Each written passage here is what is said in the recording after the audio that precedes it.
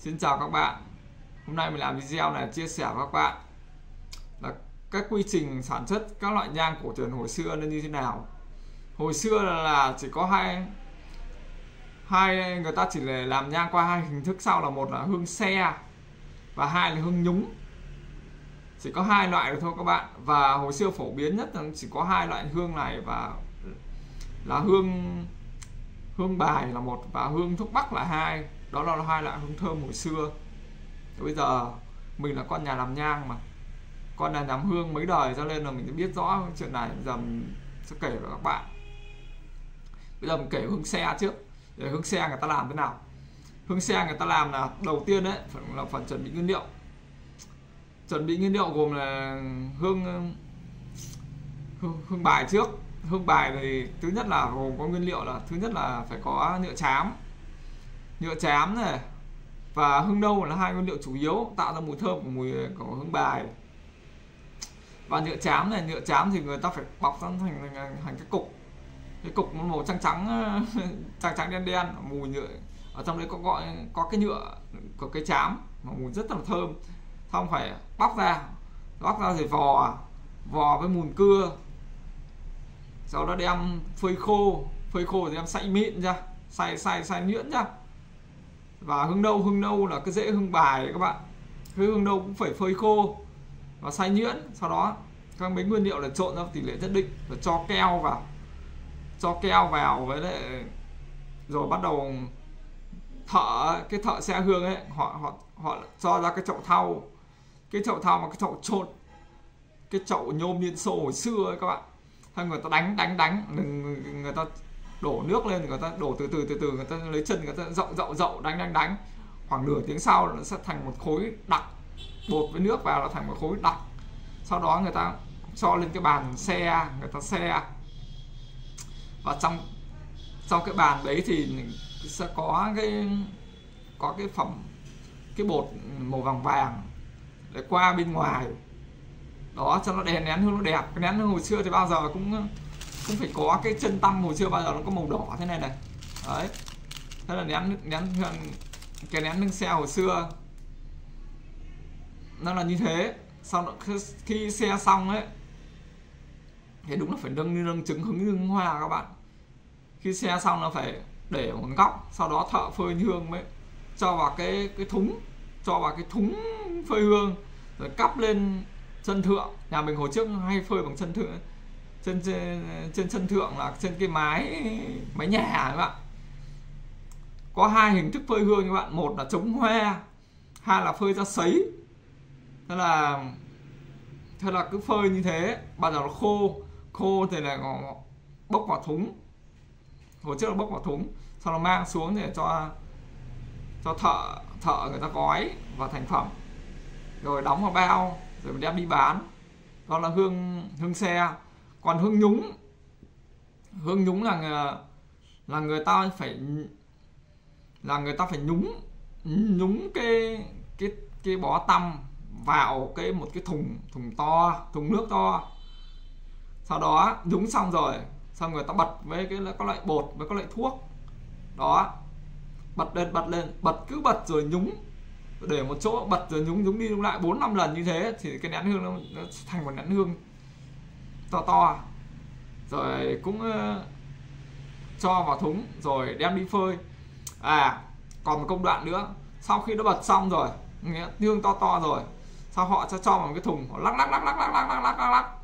cho cái thùng lắc hương cái thùng làm bằng bằng nhôm các bạn Thế là cho vào thùng họ lắc lắc lắc lắc xong họ đổ ra cái thúng để mang đi phơi phơi xong thì cũng cho cho vào bao. Nhưng mà phơi hương thì xong ấy. Thường thường thì hương nhúng ấy thì phải xúc xúc là bó vào tròn này các bạn bó bó tròn vào. Và bó tròn và nẹt, nẹt vào. Xong rồi cất vào cất vào túi ni lông để bảo quản cho được lâu các bạn. Con trời miền bắc là, là, là mùa xuân này. Và mưa là có thời gian mưa nhiều ấy nếu không cho vào không xúc mà không cho ni lông thì nó bị ẩm cho nên hương nhúng đặc biệt phải cho phải cho túi ni lông còn hương xe là không không cho không không xúc được. Hương xe thì phải cho vào thúng thì phải gói ngay. Hương hương xe thì nếu mà bó vào như thế thì nó vỡ. Chỉ có hương nhúng nó chắc thì nó mới bó vào được thôi. Đó là như thế. Đó là, là hai loại hương cổ truyền hồi xưa. Và hai hai hình thức làm hương cổ truyền hồi xưa. Một là xe một là hương xe hai là hương nhúng và hồ trưa các loại hương thơm chỉ có hai loại thôi. Cái loại hương thơm hồ trưa loại là có hai loại là hương thuốc bắc là một, là loại thơm nhất, cao cấp nhất. Mà cái loại này, đặc điểm của loại này là nó không thơm sực ngay, mà nó thơm thoang thoảng, mà mùi nó rất là dễ chịu. Còn một cái loại nhang nó thơm sực ngay, đốt lên biết mùi hương thơm luôn. Đó là cái hương hương bài đấy các bạn, hương bài. Đó là hương nhựa chám. Đó, đốt lên biết mùi ngay, nó thơm luôn hồi, hồi xưa là thơm thơm chỉ có hai loại đấy thôi.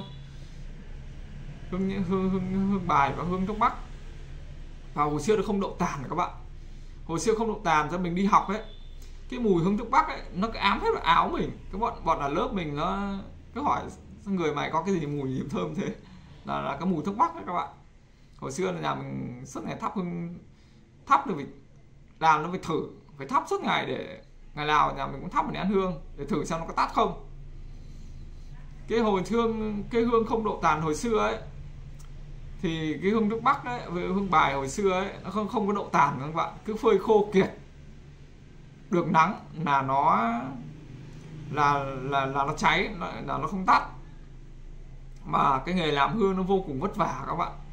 Phải phải, phải phụ thuộc thời tiết phải trông trời trông đất trông mây. Lúc nào phải trông trời trông đất trông mây có cái lúc mà mưa thuận gió hòa có lúc nó nắng to nắng đẹp ấy thì phơi một ngày là xong. Có cái lúc là âm u là phơi mấy ngày rồi nó mới xong được mẻ hương.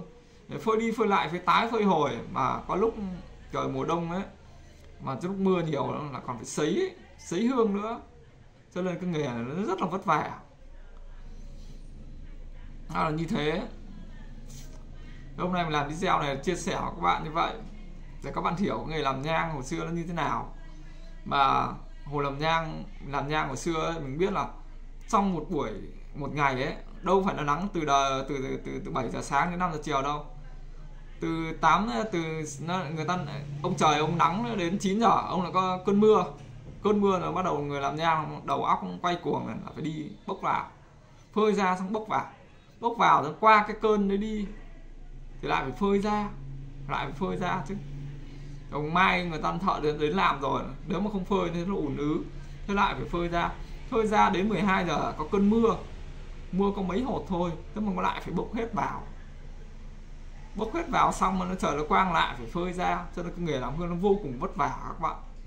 Về làm hương nó cực kỳ vất vả nữa các bạn. Và nó ức chế. Đó.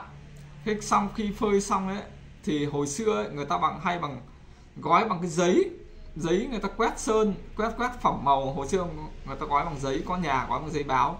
Có nhà mình cầu kỳ hơn là quét quét quét phẩm lên cái tờ giấy trắng ấy, để nó thành, thường là hồi xưa có hai màu, một là màu đỏ, hai là màu xanh.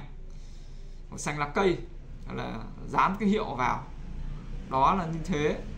Nó chỉ có hai loại đấy thôi. Và sau này còn một cái loại nữa là rút giấy bóng, rút giấy bóng, rút giấy bóng. Đó còn bây giờ nó hiện đại hơn, nó cho vào cái túi bóng này, nó dập một phái đầu chứ hồi xưa nó không có như thế này đâu. Hồi xưa là có cái rút cái bóng là rút vào cuốn cuốn cuốn cuốn quấn, chấm chấm cái ở đầu như thế. Hoặc là qua giấy báo à, gói giấy giấy sự, gói giấy giấy giấy phẩm màu. Rồi sau này tiến bộ hơn là gói giấy sơn. Đó là như thế. Ở video đến đây mình kể các bạn là hương cổ truyền hồi xưa, cái ờ, miền Bắc. Đến đây là hết rồi. Xin chào các bạn.